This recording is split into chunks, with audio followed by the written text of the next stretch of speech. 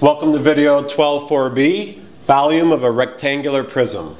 Here's the first example. Find the volume of the rectangular prism shown with dimensions of 20 by 5 by 15.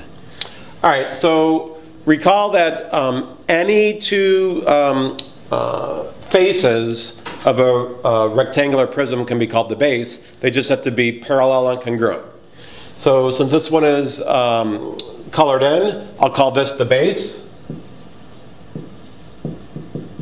And then this will be the height.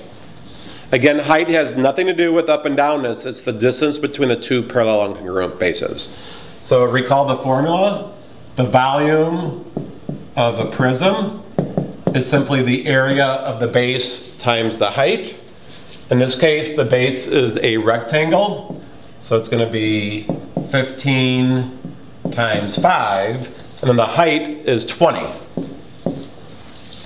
Okay, so 15 times 5 is 75. Uh, I'm better at multiplying by 10, so 75 by 10 is 750. Double it, you get 1500. And we're talking about volume, so this will be 1500 units cubed. So there you have it, how to find the volume of a rectangular prism.